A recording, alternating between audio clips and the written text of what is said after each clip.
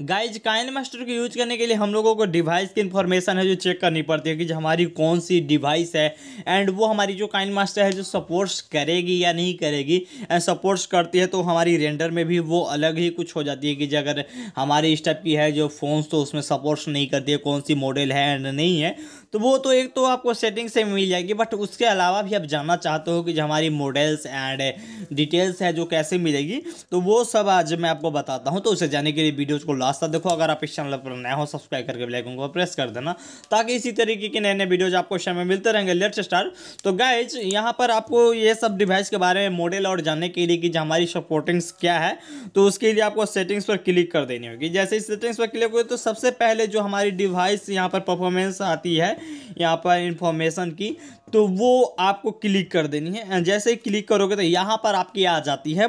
ये chip set आपकी कौन सी है? यहाँ पर ट्रिंकेट आ जाती है। ट्रिंकेट, जो यहाँ पर टेन आ जाती है, जो हमारी चिप सेट हो जाती है। हमारी मॉडल्स नंबर आ जाती है, जो यहाँ पर अगर फोन्स है, जो हमारी रियल मी की है तो यहाँ पर मॉडल्स नंबर है, जो शो हो जाती है। वर्जन्स आपको शो हो जाती है यहाँ पर कि जबकि वर्जन्स है, जो कौन सी है। उसके बाद यहाँ पर पिक कोड परफॉर्मेंस हो जाती है, वो है जो यहाँ पर शो शो हो जाती है। यहाँ पर कि सेवेंटीन पॉइंट सिक्स पिक्सल्स है जो पर सेकेंड से यहाँ पर हो जाती है। एंड अब आ जाती है जो मेन इसके जो कि आपके क्वालिटी है, जो कौन सी ये फ़ोन सा जो सपोर्ट करती है, किसी किसी में टेन एट्टी भी हो सकते हैं, यहाँ पर फोर्टीन फोर्टी है को क्या है? क्यू एच डी हो जाती है।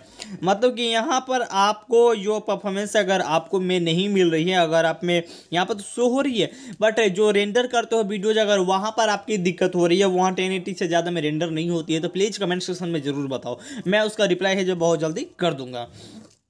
उसके बाद है जो नंबर ऑफ़ सपोर्ट है वीडियोज़ लेयर लेयर के हिसाब से कैसे वो काम आने वाली है, वो यहाँ पर शो हो जाती है, जो थ्री में इतना एंड फाइव में इतना एंड एट में इतना हो जाती है। एंड वो एनालिसिस आपको यहाँ पर आ जाती है डिवाइस परफॉर्मेंस के तो यहाँ पर देखो, जैसे ही क्लिक करोगे तो यहाँ पर आपकी रेंडरिंग होने लगती है तो मैं अभी यस कर देता हूँ, क्योंकि उसकी हमें कोई ज़रूरत अभी है नहीं। बस यहाँ पर डिटेल्स मैंने बता दिया कि ये हो जाती है आपकी पूरी कोड की इन्फॉर्मेशन आपको ले लेनी चाहिए यहाँ से।